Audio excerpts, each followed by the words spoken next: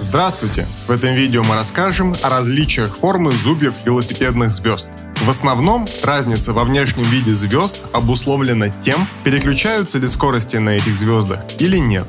Рассмотрим задние звезды. Если это трещотка или кассета под переключение скоростей, то можно увидеть, что звездам придана особая форма. Зубья профилированные, отличаются друг от друга высотой, формой и наклоном. Это сделано для обеспечения легкого и точного переключения передач. Если же это односкоростная задняя звезда, тогда зубья будут одинаковой формы без разницы по наклону и высоте.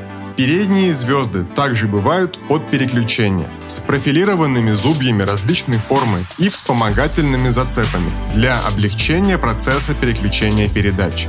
Передние звезды без переключения скоростей, по аналогии с задними, будут иметь зубья одинаковой формы.